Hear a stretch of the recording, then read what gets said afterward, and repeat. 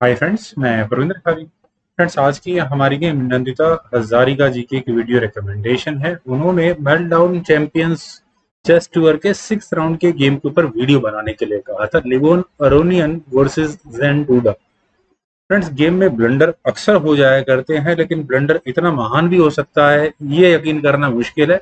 और खासकर super grandmasters की गेम चलिए शुरू करते हैं. लिवोन अरोनियन ने यहाँ ई e फोर के साथ शुरू किया. ई सिक्स यहाँ जैन क्रिस्टोफ डूडा ने खेला। D four D five knight C three bishop B four then E five obvious move है, यहाँ व्हाइट का आना ही है। देन हुआ सी फाइव तो ए थ्री बिशप पर attack bishop takes C three with check B takes C three then knight आया ई seven square पर। Queen G four queen G four के बाद अटैक बनता है, यहाँ डायरेक्टली इस जी सेवन पॉन पर। कैसल अगर किया जाता है तो बिशप की एंट्री होती है और थोड़ा सा डेंजरस गेम प्ले यहाँ मिलता है व्हाइट को।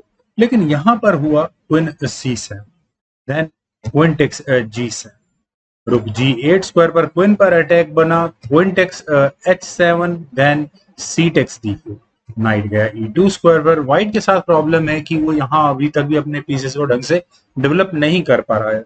ब्लैक को भी अपने पीसेस को फ्रीली मूव करने का मौका नहीं मिल रहा है, लेकिन फिर भी मैं कहूँगा कि व्हाइट के पास सिर्फ़ ये क्विन एक्टिव है, बाकी सभी पीसेस लगभग ओरिजिनल स्क्वायर पर।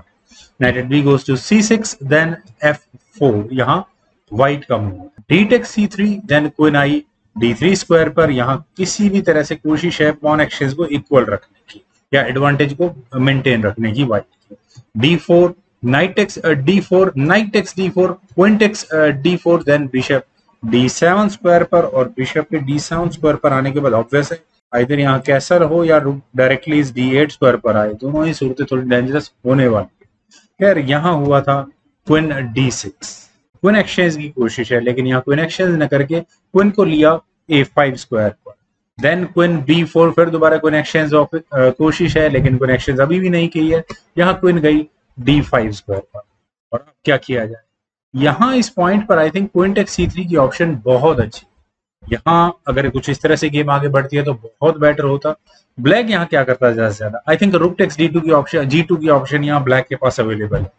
और अगर यहाँ मैं कहूँ कि बिशप से इस रुक को लिया जाए तो उसके बाद क्विन बड़े डेंजरस स्क्वायर पर आती है।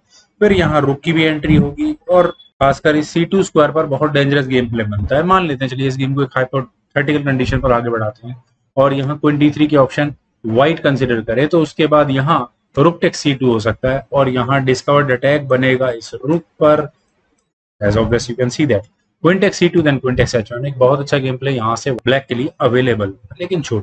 वही देखते हैं, जो गेम में हुआ था, यहाँ हुआ था ए फोर देन नाइट आया एफ़ फाइव स्क्वायर पर।